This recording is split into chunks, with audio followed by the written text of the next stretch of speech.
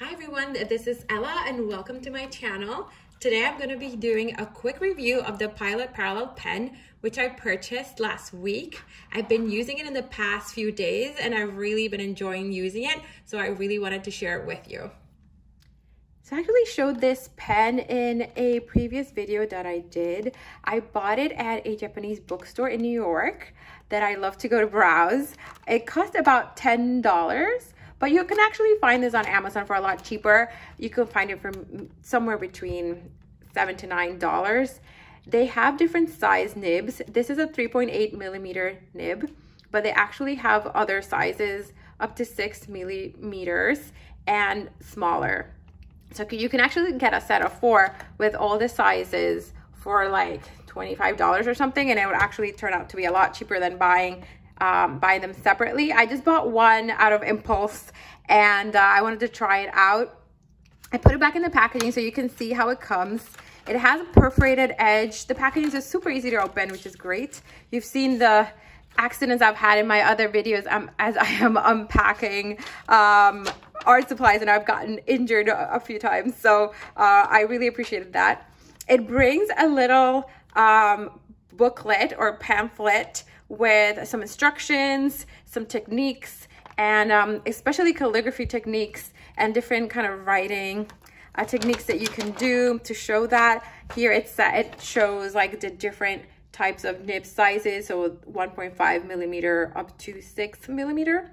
And if you use the nib at different angles, you can get different types of lines, which I think is what really attracted me to this. So I'll show you in a bit how that performs on paper. The actual pen comes with two cartridges. It comes with a black and a red. They're water soluble ink. It also comes with a little piece of film, which is meant to be used to unclog the pen um, if it gets clogged. So the pen nib is actually two pieces of, got some ink on my finger there, two pieces of steel and the ink flows right through the middle of the two pieces of steel. I don't know if you can see that. So it's very different than a regular fountain pen. So I'm gonna show you just from my fountain pen collection here. Uh, this is a Lamy LX pen, medium nib. So you can see, let's see if we can focus on this, the difference in the way the nib is designed. Whereas one has, you know, the traditional fountain pen nib and the parallel is very, very different. It also writes really different, which is what really attract, attracted me to this.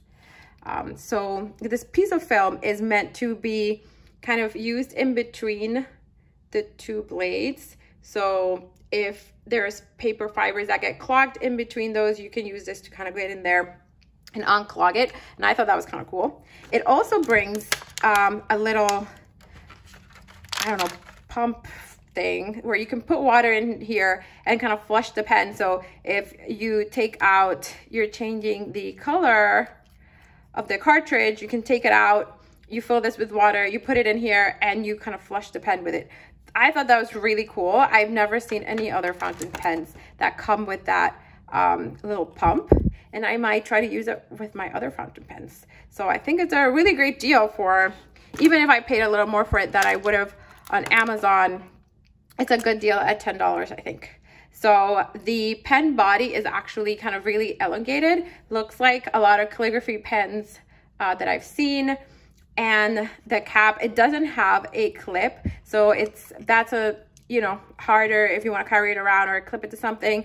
You also cannot um, connect the, the cap to the end of the pen. So you have to kind of, I don't know, keep the cap somewhere safe so you don't lose it while you're using it, which um, I know is inconvenient for some people. But I just wanted to show you quickly how this writes. Um, you can use it in different directions. I'm gonna try to zoom in a little bit here that you can see that. If you use it in just like width wise. It creates a really thick line. If you use it at an, at an angle, like a medium line.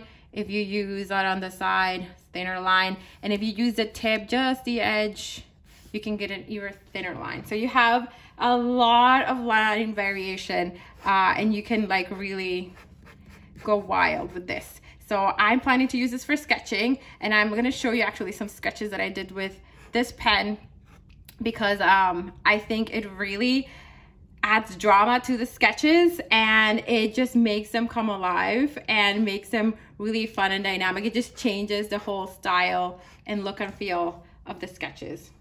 So I'm gonna compare this really quick, quickly with my Lamy medium nib. So you can see how much thinner that is.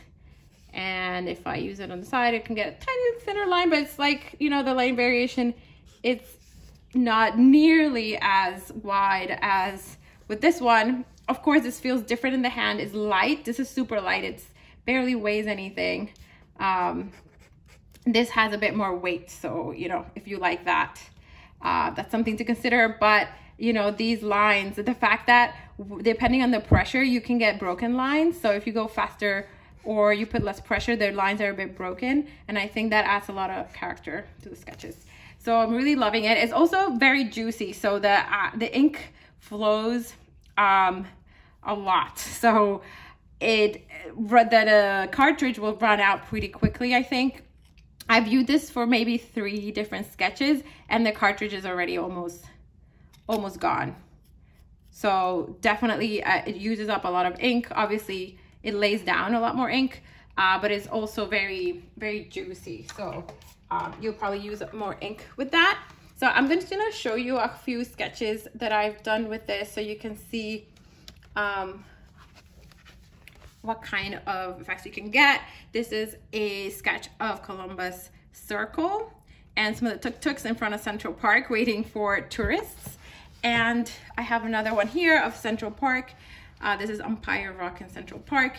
You can see how like the lines can look really scratchy and have a lot of personality. So I just really loved it. I loved using it. I loved sketching with it. I've only been using it, like I said, for about a week um, when I recorded this video. So definitely gonna be giving this a lot more use. I'm gonna be probably um, refilling this ink with permanent ink.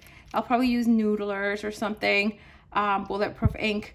You can use a pilot converter for this if you wanna use your own ink. What I think I'm gonna do is I'm going to use a syringe and just fill, refill the cartridge that came with the pen using a syringe and I'll reuse the, the actual cartridge. That way you don't have to buy a converter.